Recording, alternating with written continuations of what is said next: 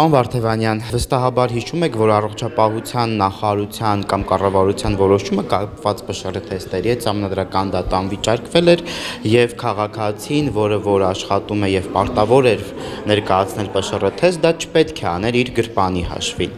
Եվ այդպես էլ ոչ կառավարությունը, ոչ առողջապահության նախարարությունը չստակեցրին ի վերջո, որ ով է դրա պատասխանատուն, ով է, հա, այդ ծախսերը հոգյալու։ Ինչ նորություններ կան այս մասով, այսպես թեման փակվեց գնաց, թե զարգացումներ եղան, ինչ է ձեզ հայտնի։ Ես հետեւյալը կարող եմ ասել, ես գիտեմ, որ մեր հայրենակիցներից ոմանք, չեմ կարող այդպես հստակ թիվ ասել, հետևողական են եղել համանadrական դատանի որոշման բարձանագրված պայմաններին եւ պաշտպանել են իրենց իրավունք։ Ունենալով դրա համար իհարկե բազմաթիվ դժվարություններ,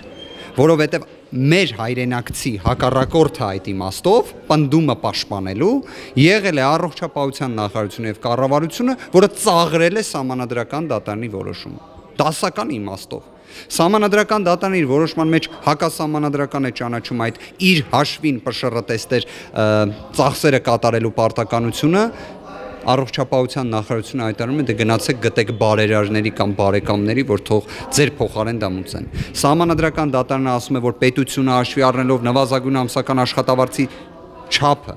դրա ցածր լինելը եւ ՊՇՌ տեստերի արժեքի բարձր լինելը պետք է միջոցներ ձեռնարկի սոցիալական համերաշխություն ապահովելու համար։ Դա ի վերջո ո՞րն է, չէ՞, որ պետությունը պետք է մասնակցի այդ process-ին հերթական անգամ կառավարությունը եւ առողջապահության նախարարությունը ծաղրում է համանadrական դատանի որոշումը։ Իրարից տեղյակ են, որտեվ մեկը մյուսի վրա է գցում։ Ես մի բանը կարող եմ ասել, համանadrական դատարանը իր տարեկան հաղորդման մեջ մի հետարքիր ձևակերպում էր օգտագործել։ Իդեպ այդ որոշումը ՊՇՌ տեստերի առանձնացված էր տարեկան հաղորդման մեջ որպես կարևոր որոշումներից մեկը ՍԴ-ի։